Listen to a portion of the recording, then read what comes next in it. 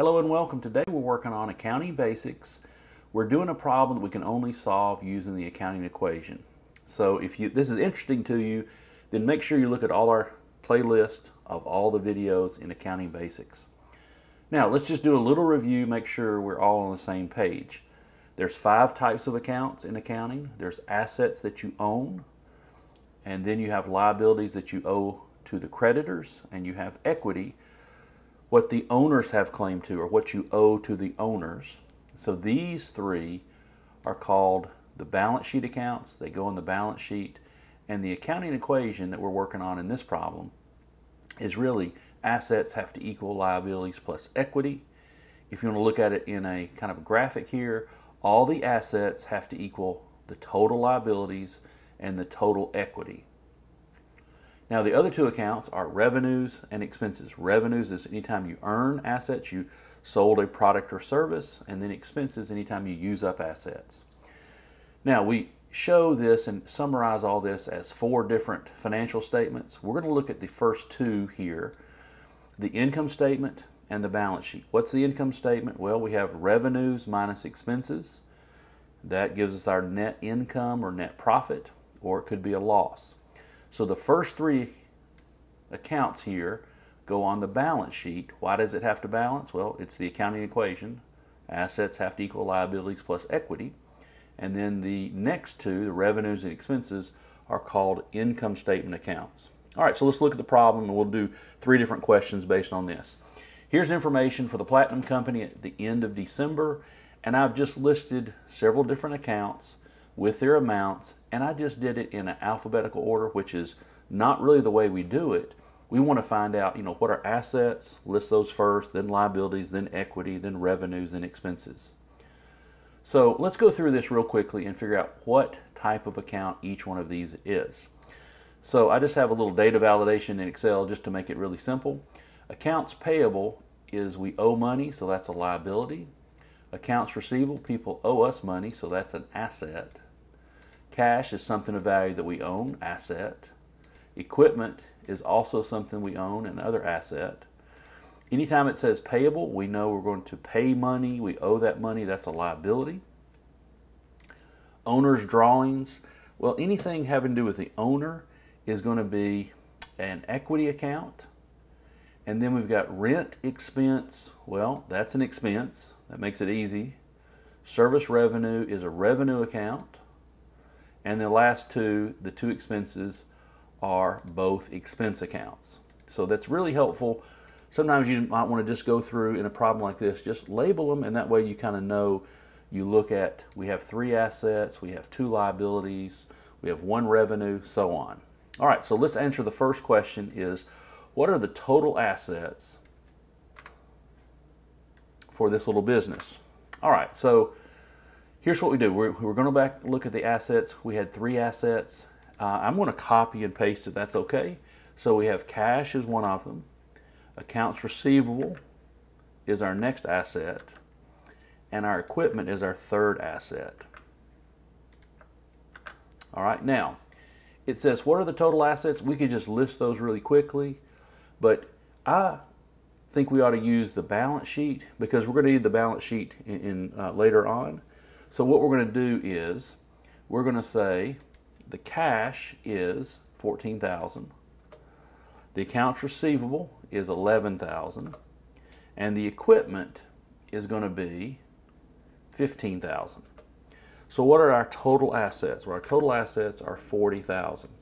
I've set up the balance sheet because later on, question three, we're going to need owner's equity. We're going to use the accounting equation to back in and find what the equity would be. So the answer to this question is what are the total assets? The total assets are 40,000. Let's go to the next one. What if we have, I'm to get rid of all this.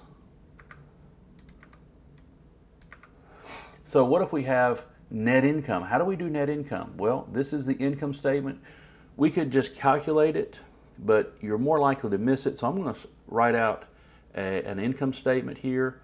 And with Excel, obviously it makes it super easy to do this. So we have service revenue is our revenue account. And what's the total revenue here? 53,500. And then we have um, three different expenses. We have rent expense, and then we have utilities and wage expense. So our rent expense is 14,000. Now I'm pointing to the 14,001. I don't want to type it over again and, and I might make a mistake.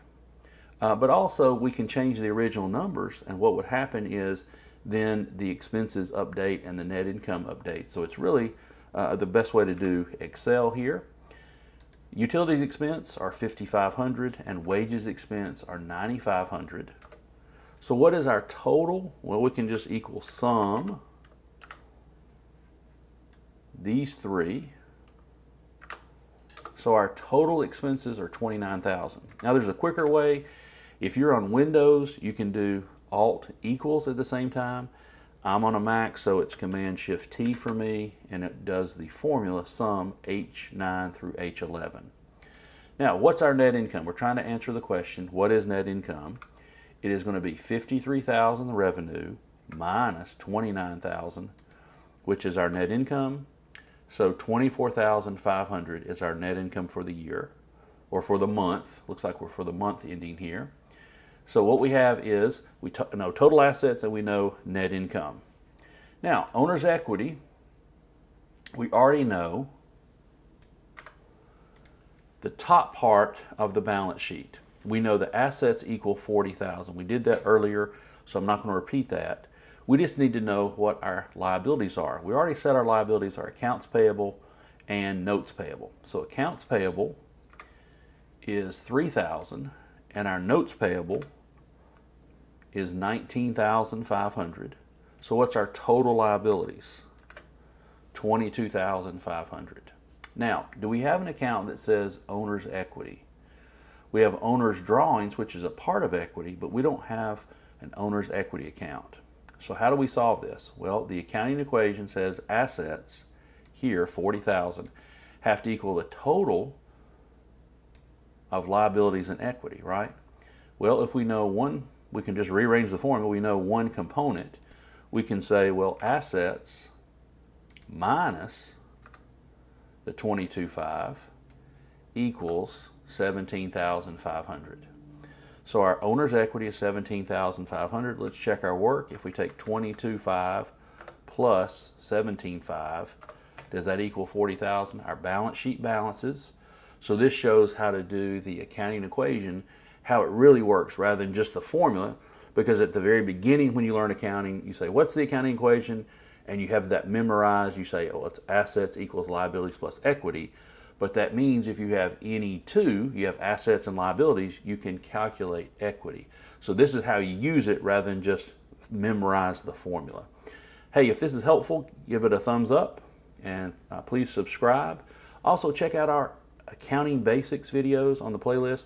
I think that'll be very helpful for you. If you have questions, put in the comments below and I can answer questions with another video. That would be helpful.